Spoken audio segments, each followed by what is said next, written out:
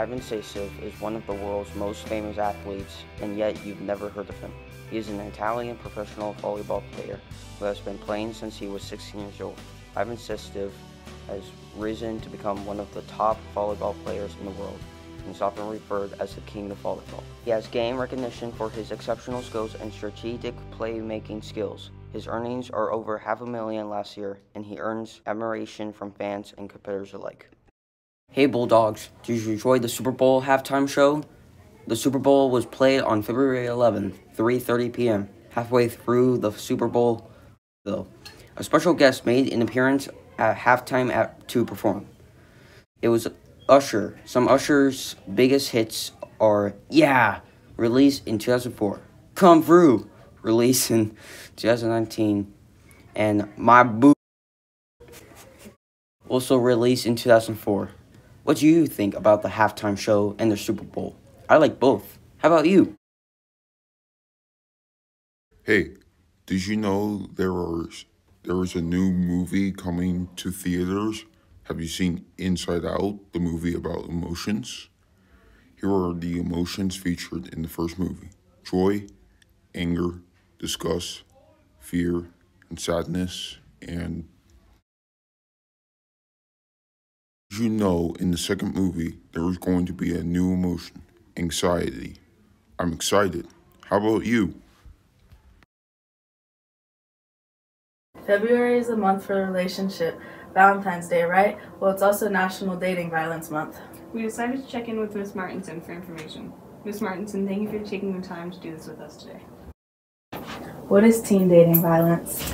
Teen dating violence is when two people are in a romantic or consensual relationship, and within that relationship, there is physical, psychological, or sexual abuse, or harassment or stalking.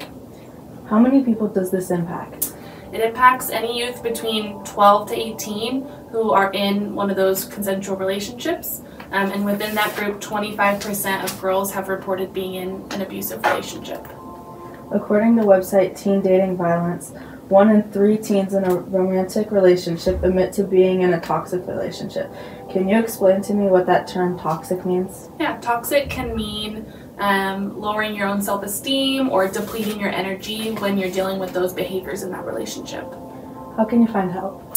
Here at Stephens, you can come talk to your counselor, so Mr. Halk, Ms. Callentine, or Ms. Stiller, or you can come talk to me, or you can text the Teen Dating Abuse Hotline. You can text Love Is to 22522. Thank you for your time. You're welcome. According to newzoo.com, the top five games in, a, in the world right now are at number five, GTA 5. GTA 5 is a 2013 action adventure game developed by Rockstar North and published by Rockstar Games. Number four is The Sims 4. The Sims 4 is a free to play social simulation game developed by Maxis and published by Electronic Arts. Number three is Call of Duty Modern Warfare 2 and 3. Call of Duty Modern Warfare 3 is a 2023 first person shooter video game developed by Sledgehammer Games and published by Activision. Number two is Minecraft. Minecraft is a 2011 sandbox game developed by Mojang Studios and originally released in 2009. The game was created by Markus Notch, and the best for last number one is Fortnite. Fortnite is a survival game where 100 players fight against each other in player versus player combat to be the last standing. It is a fast paced, action packed game. There are estimated 125 million players on Fortnite, and that's the top five games in the world right now. Have you ever wondered why the school is called Adam Stephens? Arrived in Salem in the year 1848.